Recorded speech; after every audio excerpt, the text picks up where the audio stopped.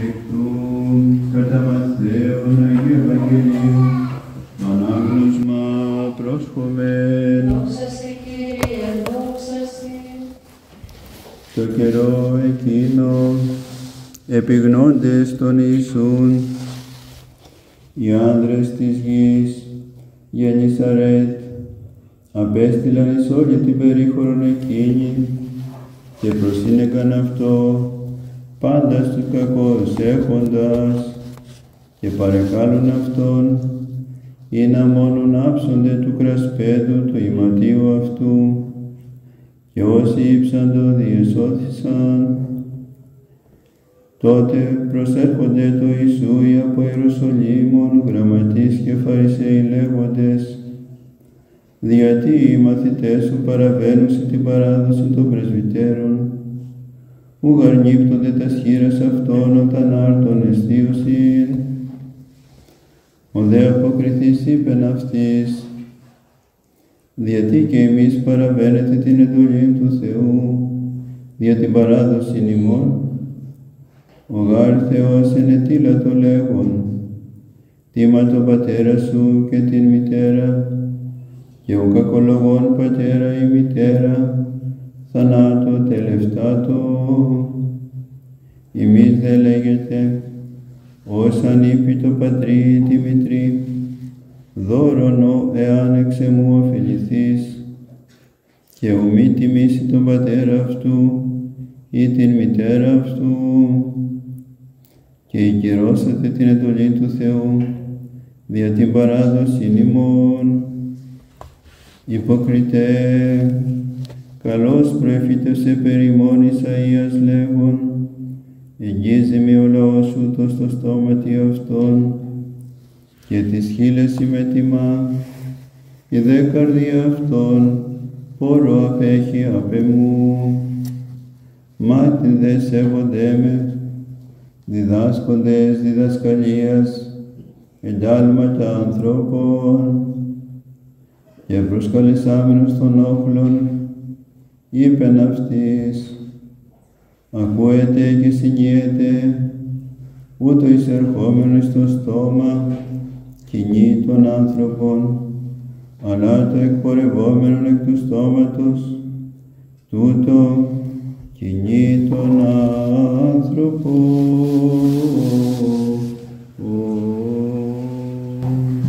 Δόξα σε Κύριε, δόξα σε.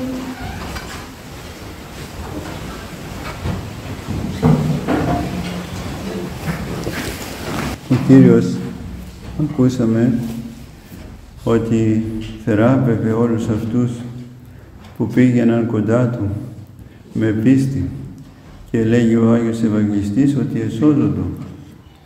Ο Κύριος είναι η σωτηρία μας. Αν θέλει κανείς να σωθεί, δηλαδή να μην πεθάνει ποτέ, αλλά να ζήσει με χαρά, με μακαριότητα για πάντα, στην αιωνιότητα, αυτός πρέπει να ενωθεί με τον Κύριο, τον Σωτήρα, τον Λυτρωτή. Και πρέπει για να νιωθεί με Αυτόν να μην κάνει κάποια πράγματα υποκριτικά, εξωτερικά, δηλαδή να αλλάξει κάποιες συμπεριφορές κάπως στη ζωή του εξωτερικά, αλλά θα πρέπει να αλλάξει όλος ο άνθρωπος, να αλλάξει εσωτερικά. Γιατί όπως λέγει ο Κύριος εις τους γραμματείς και στους Φαρισαίους, έλεον θέλω και ου θυσία. Έλεο θα πει αγάπη, εσπλαχνία, το να πονάμε, να συμπονάμε ο ένας τον άλλον. Και όχι θυσία εξωτερική, κάποιους τύπους. Κατηγορούσαν τον Κύριο, το ακούσαμε στο σημερινό Ευαγγέλιο, ότι δεν τηρεί τον νόμο και ότι οι μαθητές του με άνοιχτα χέρια έτρωγαν.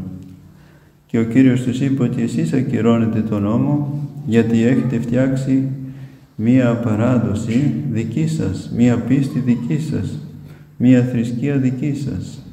Λέτε για παράδειγμα ότι αυτό που είναι να δώσω στον πατέρα μου και στη μητέρα μου, να του πω απλά ότι αυτό θα το πάρεις από το Θεό, να είναι αφιερωμένο στο Θεό. Και νομίζετε ότι έτσι δεν χρειάζεται να δώσετε τίποτα στον πατέρα σας και τη μητέρα σας, ενώ η εντολή του Θεού είναι ακριβώς να τιμάς τον πατέρα σου και τη μητέρα σου. Και αν κάποιος κακολογεί, λέει λόγια κακά, υβριστικά προς τους γονείς του, αυτός πρέπει να θανατώνεται, έλεγε ο νόμος της Παλαιάς Διαθήκης. Εσείς όμως φτιάξετε μια παράδοση ψεύτικη, ανθρώπινη και μέσω αυτής της παράδοσης αθετείτε, δηλαδή καταπατείτε το νόμο του Θεού.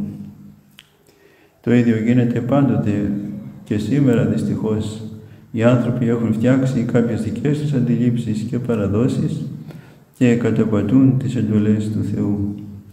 Εμείς όμως θα πρέπει να αγωνιζόμαστε, να τηρούμε το θέλημα του Θεού ακριβώς και όχι να φτιάχνουμε ή να ακολουθούμε ανθρώπινες διδασκαλίες και παραδόσεις που δεν είναι μέσα στην Αγία μας Εκκλησία.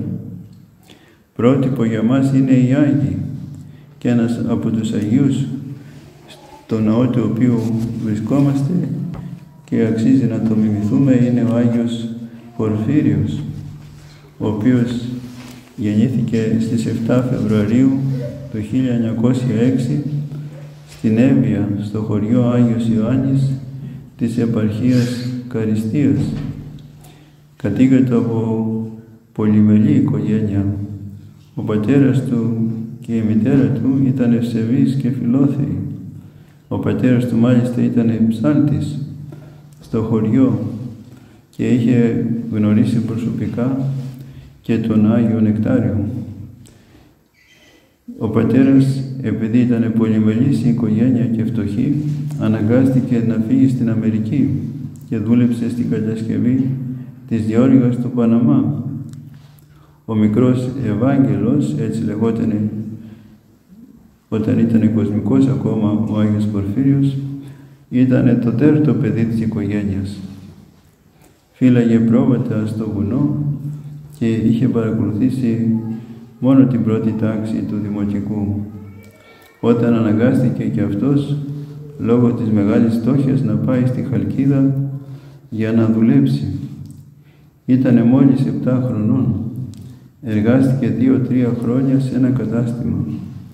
Μετά πήγε στον Πειραιά, όπου δούλεψε δύο χρόνια στο παντοπολείο ενός συγγενούς.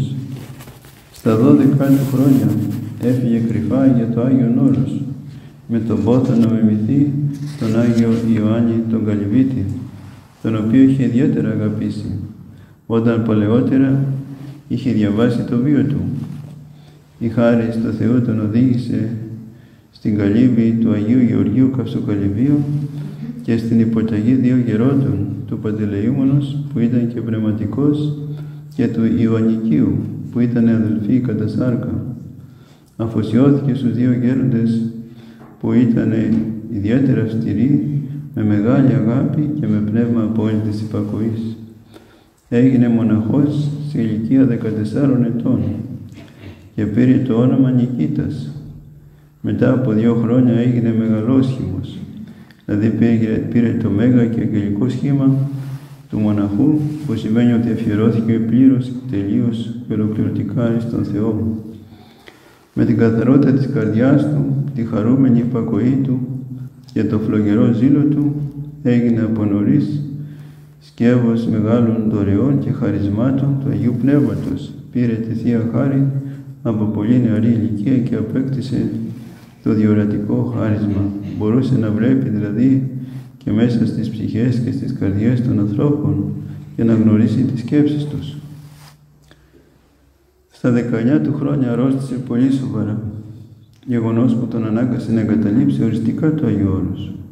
Επέστρεψε τότε στην Εύβοια, όπου εγκαταστάθηκε στη Μονή του Αγίου Χαραλάμπους Λευκών και ένα χρόνο αργότερα, το έτος 1926, σε ηλικία 20 ετών χειροτονήθηκε ιερέας στον Άγιο Χαράλαμπο Κίμης από τον Πορφύριο Τρίτο Αρχιεπίσκοπο Σινά, ο οποίος του έδωσε το όνομα Πορφύριος.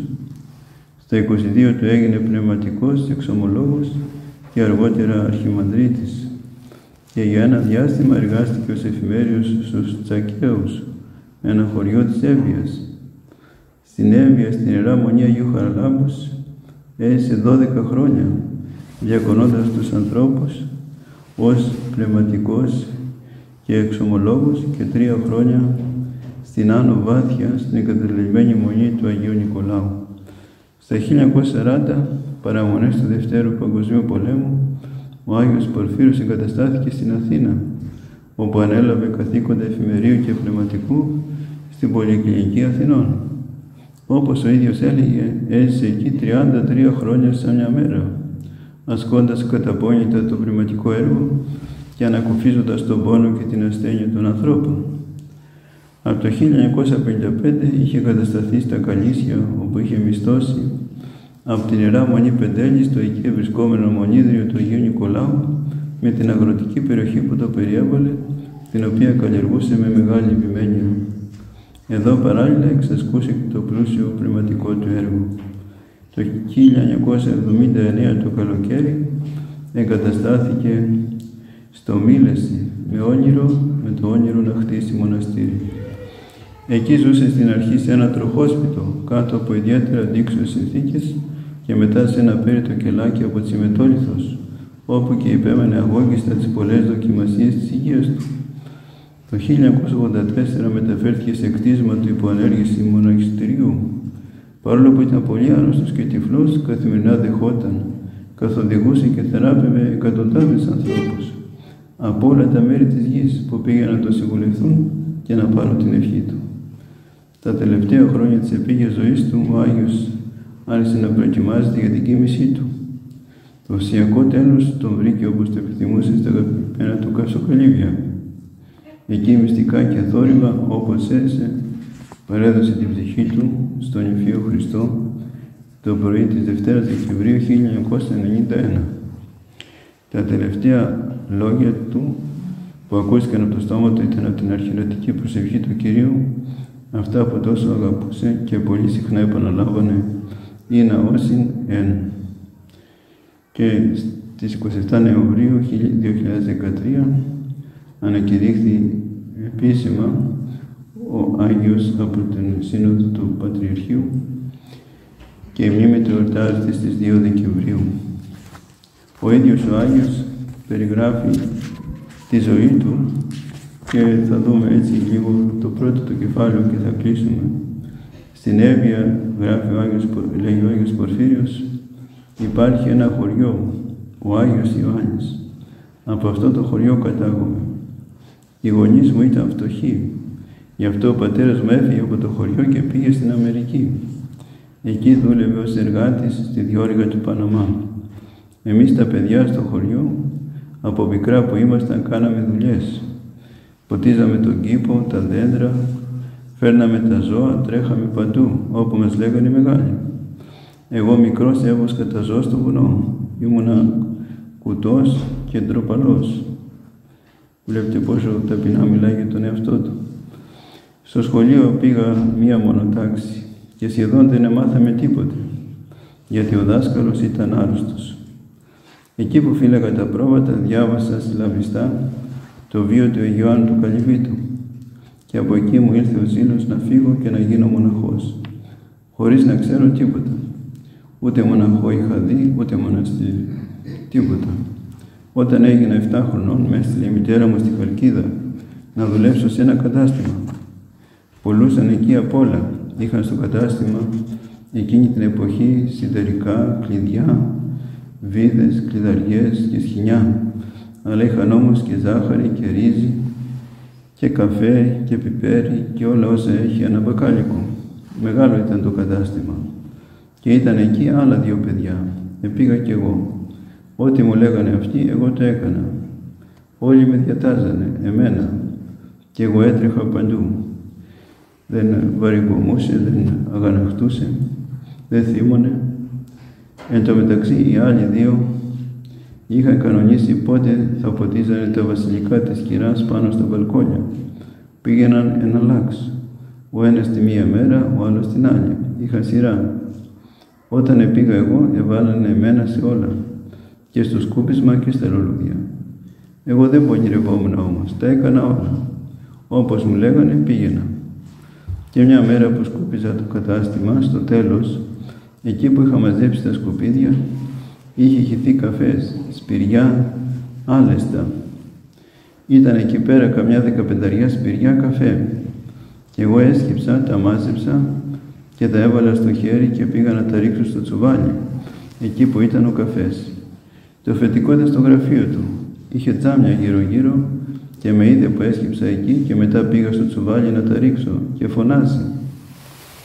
Άγγελε, εννοώντας εμένα, γιατί είπαμε το πρώτο του όνομα ήταν Ευάγγελος. Έτσι με φωνάζανε μικρό. Άγγελο, έλα εδώ, πήγα εκεί. Τι έχεις στο χέρι, τι είναι αυτό, λέω καφές. Τα ύβρα εκεί κάτω και τα μάζεψα. Αρχίζει λοιπόν Τάσο, Αρίστο, Γιάννη, Γιώργο.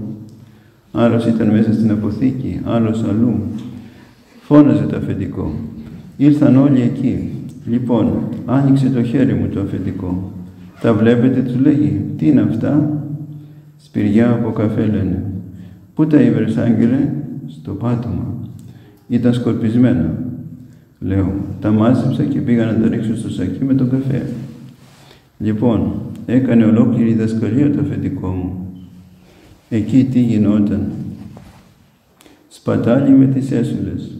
Πετούσαν από εδώ, από εκεί και λέει «Ακούστε τώρα, από σήμερα θα βάλετε μία σειρά εδώ μέσα.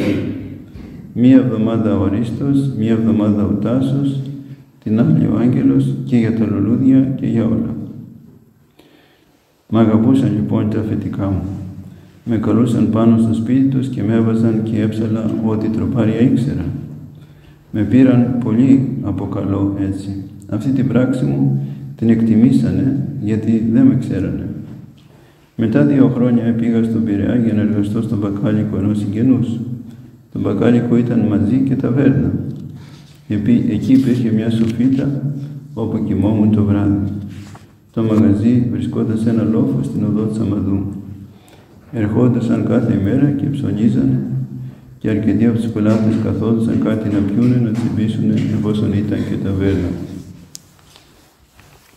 Και μια μέρα ήρθαν στον μπακάλικο δύο γέροι και μου ζήτησαν δύο σαρδέλες και μισή κρασί. Αμέσως του, τους τα πήγα. Σε μια στιγμή λέει ο ένας από τους δύο γέρους «Πού να δεις το κρασί που ήπια στο Άγιον Όρος, αυτό το κρασί πουθενά δεν το ήβρα». Πήγε στο Άγιον Όρος, το ρωτάει ο άλλος. «Ναι, έφυγα μια φορά από την πατρίδα μου, από την Μυτιλίνη, από την Καλονή και πήγα στο Άγιον Όρος. Και πίναμε εκεί και κρασί μονοξυλίτικο από το μετόχι του μονοξυλίτη της Μονής Διονυσίου στο Άγιον Όρος. Τι κρασί ήταν αυτό; Τον ξαναρωτάει ο άλλος. Πήγες να σκητέψεις; Ναι, ήθελα να γίνω καλόγερος, αλλά δεν μπόρεσα, δεν άντεξα. Πόσο μετάνιωσα που δεν έμεινα εκεί. Εγώ τα άκουγα με προσοχή, λέει ο Άγιος Πορφύριος, γιατί πριν από καιρό είχαν περάσει κάποιοι μοναχοί και μοιράζανε φυλάδια. Ένα από αυτά έγραφε για τη ζωή του Αγίου Ιωάννου του Καλυβίτου, που την είχα διαβάσει συλλαβήσοντας όταν έβασκα τα πρόβατα στο χωριό μου, όπως σας είπα. Την είχα διαβάσει και πάλι στη Σοφίτα, με τη βοήθεια ενός κλεπτοφάναρου, με δυσκολία, γιατί δεν ήξερα πολλά γράμματα. Τόσο με ενθουσίασε η ζωή του Αγίου, που ήθελα να το μιμηθώ. Αλλά όμως για το Άγιον Όρος δεν ήξερα τίποτα. Εν τω μεταξύ ο γέρος συνέχισε. Επήγα να σκητέψω και έφυγα. Τι ωραία που ήταν εκεί. Είδα ασκητές, ερημίτες, Αγίους ανθρώπους να προσπαθούν να αγαπήσουν τον Θεό, να αγωνίζονται μέσα στην έρημο με νηστείες, κακοχίες και προσευχές. Τα άφησα όμως όλα αυτά και ήρθα εδώ στον κόσμο και έπλεξα με χίλια βάσανα. Τα θυμάμαι πάντοτε και λυπάμαι που δεν έμεινα εκεί πέρα. Να μην πέσω εδώ στον κόσμο, να βασανιστώ τόσο πολύ με οικογένεια, με παιδιά και με τόσες φασαρίες που με γονάτισαν οι στενοχώριες της ζωής. Και τα θυμάμαι. Σε λίγο φύγανε οι γέροι, αλλά εμένα το μυαλό μου, λέει ο Άγιος Πορφύριος, εκεί. Μου ήρθε ένας ζήλος από εκείνη τη στιγμή να πάω κι εγώ εκεί που έλεγε αυτός. Μου κόλλησε στο νου ότι θα μπορούσα να πραγματοποιήσω το όνειρό μου, να μιμηθώ τον Άγιο Ιωάννη τον Καλυβίτη. Μου έγινε πόθος διακαής. Μετά από δύο ημέρες ξαναήρθε ο γέρος. Ήταν γείτονας. Τον πλησιάζω και κρυφά τους άλλους τον ρωτάω. Πες μου κύριε Αντώνη, είναι καλά εκεί πάνω στο γενόρος. Ε, τ' άκουσε την άλλη φορά. Δεν μπορώ να σου πω τίποτα τώρα. Και δεν μου είπε τίποτα. Έφυγε. Εγώ όμως το μεταξύ δεν μπορούσα να σκεφτώ τίποτα άλλο. Το έβαλα βαθιά μέσα μου να γίνω ερημίτης. Αλλά πώς; Δεν ήξερα πώς πηγαίνω στα Άγιον Όρος. Χρήματα δεν είχα, ούτε ήξερα τι να πω στο αφεντικό. Ξαναήρθε ο κύριο Αντώνης στο μπακάλικο. Κρυφά πάλι τον ρώτησα για το Άγιον Όρος και τότε μου τα είπε όλα. Αλλά πώς όμως θα έφευγα και τι να έλεγα, έτσι και θα δούμε τη συνέχεια τι έγινε. Ας μείνουμε τώρα σε αυτό που έκανε ο Άγιος Πορφύριος, που μάζεψε δηλαδή τα σπηριά από τον καφέ που ήταν στο πάτωμα, δεν τα άφησε να χαθούν, αλλά τα φύλαξε. Δηλαδή μας διδάσκει αυτό την αποφυγή της πατάλης. Και ο Χριστός μας όταν έκανε ένα μεγάλο θαύμα με πέντε ψωμιά και δύο ψάρια, τα οποία τα πολλαπλασίασε θαυματουργικά και με αυτά τάισε πέντε χιλιάδες άνδρες και άλλες τόσες γυναίκες και περισσότερες και παιδιά, όταν έφαγαν όλοι και χόρτασαν, διέταξε να μαζέψουν τα περισσεύματα, ό,τι είχε περισσέψει από το ψωμί, και να τα βάλουν σε καλάθια, να μην χαθεί, να μην πεταχθεί τίποτε. Μας διδάσκει δηλαδή ο Κύριος να μην πετάμε τίποτε από τα αγαθά που μας δίνει, να μην τα σπαταλούμε, να μην τα αφήνουμε να χάνονται. Λέγει και στις παροιμίες, εκείνος που από τα παιδικά του χρόνια κατασπαταλά τα χρήματα θα καταντήσει σύντομα φτωχός και θα γίνει δούλος και στο τέλος θα δοκιμάσει πολλές συμφορές και οδύνες. Όποιος σπαταλάει, όποιος πετάει χρήματα, τρόφιμα κλπ. αυτός θα πεινάσει, θα δοκιμαστεί. Αν δεν θέλουμε, έλεγε ο Μακαριστός Πατήρα Θανάσιος ο Μητυλαίος, να πεινάσουμε, θα πρέπει να μην πετάμε τίποτε από το τραπέζι μας, από το φαγητό μας. Και οπωσδήποτε να κάνουμε προσευχή στο τραπέζι και πριν και μετά για να ευχαριστήσουμε τον Κύριο για τα αγαθά Του. Κατάχρηση, λέει και ο Μέγας Βασίλειος, είναι η δαπάνη που κάνεις για όσα δεν χρειάζεσαι. Όταν παίρνεις πράγματα περιτά, ρούχα, παπούτσια ή οτιδήποτε άλλο που δεν χρειάζεσαι, αυτό είναι κατάχρηση. Είναι κακή χρήση των αγαθών του Θεού. Είναι σπατάλη. Όταν σπαταλάς τα λεφτά σου, λέει πάλι ο Ρουσόστομος, τρώγοντας, πίνοντας και ασωτεύοντας, καθόλου δεν σκέφτεσαι ότι θα φτωχύνεις. Όταν όμως είναι να βοηθήσει ένα φτωχό, τότε σε κυριεύει ο φόβος, μήπως βοηθώντας τον, καταντήσεις εσύ φτωχός. Η σπατάλη είναι κλοπή της ιδιοκτησίας των φτωχών, διότι το περίσσευμά μας, τα περισσεύματά μας ανήκουν σε αυτούς. Έγινε, έλεγε και ο Άγιος Ιωάννης της Κωνσταντής. Ό,τι μας περισσεύει δεν είναι δικό μας, αλλά είναι το φτωχόν. Και η Αγιοσμένη Γερόντισσα Μακρίνα, που ήταν με τον γέροντα Εφραίμ της Αριζόνας, διηγείται το εξής. Μια φορά, λέει, εκεί που εργαζόμουν, ήρθε το αφεντικό. Βλέπει κάτω ένα κουτί, σκύβει και το παίρνει. Μας έκανε εντύπωση. Σκέφτηκα, κοίτα τι παράδειγμα μας έδωσε. Τι διδασκαλία μας έκανε. Να προσέχουμε να μην σπαταλούμε το κάθε τι. Βλέπουμε κάτι, να το συμμαζεύουμε, να κάνουμε οικονομία, να τρώμε το φαγητό και να παίρνουμε την μπουκίτσα μας, να καθαρίζουμε το πιάτο από το λαδάκι και έτσι ούτε το λάδι θα πετιέται, ούτε θα ξοδεύεται επιπλέον απορριπαντικό για να καθαρίσει το πιάτο. Ας διδαχτούμε από όλα αυτά την οικονομία τη σωστή, όχι την τζικουνιά, αλλά την οικονομία και την καλή χρήση των αγαθών του Θεού. Να αποφύγουμε με κάθε τρόπο τη σπατάλη, γιατί έτσι δεν αρέσουμε εις τον Θεό. Να μιμηθούμε τους Αγίους και τον Άγιο Πορφύριο και έτσι να αξιοθούμε και τις Βασιλείες του Θεού. Το δε Θεό δόξα πάντοτε νύχια και εις τους αιώνας των αιώνων. Αμήν.